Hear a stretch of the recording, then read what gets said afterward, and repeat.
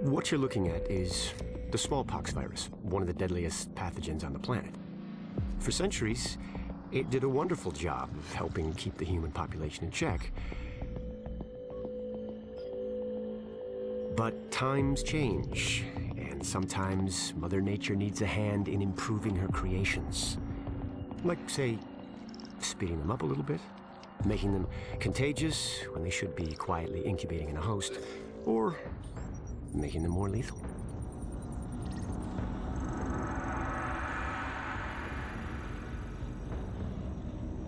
I didn't come up with the approach on my own.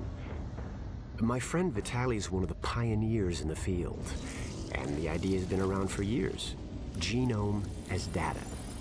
You see, once we digitized DNA, we made it infinitely mutable.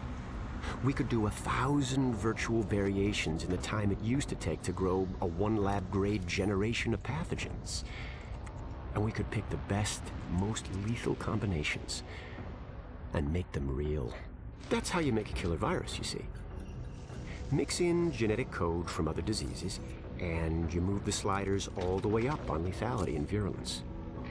The goal was a 90% mortality rate.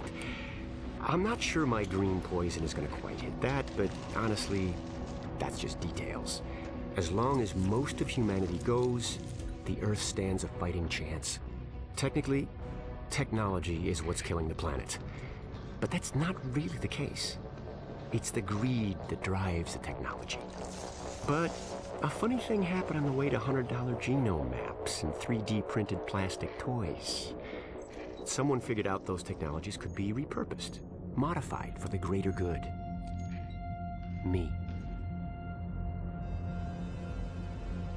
Now, my virus is going to do what nature's always done decide who lives and who dies.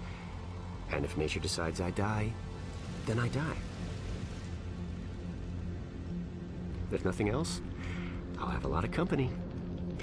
Natural selection at its finest, helped along by a little unnatural genetic manipulation. It's all data, really. Life's just a method of processing it. The same way I processed the smallpox genome on my laptop. And who's to say that wasn't the plan all along? If, by some miracle, you survive green poison, then nature's decided you deserve to live. The rest of us shouldn't and won't. Godspeed. I'll see you in hell.